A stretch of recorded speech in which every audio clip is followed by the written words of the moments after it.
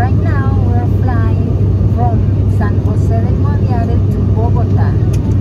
And uh, a few minutes back, as we were uh, sitting down on the plane, we started noticing that as the plane took off, the um, the uh, the clouds were right around us. Right now, there's actually some some sunny uh, environment, but a few minutes back, it was very very cloudy.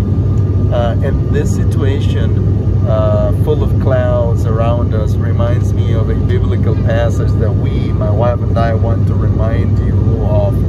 And we're talking about Philippians chapter 4 verse 6. Honey, would you mind reading it for us? Sure.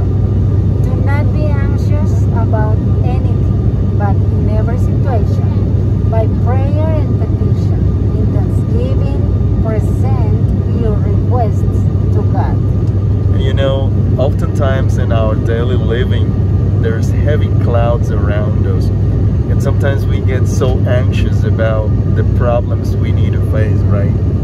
But the, the scripture for today is reminding us that we do not need to keep being anxious about anything. We just need to come to God in petition.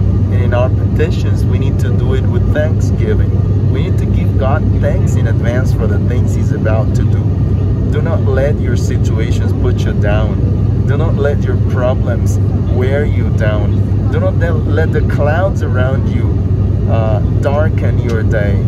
Let God lighten it up and let you find rest in the peace that only Jesus can give you. That's our message for you. In Jesus' name, accept the message, receive it, and live it for the grace of God. God bless you. God bless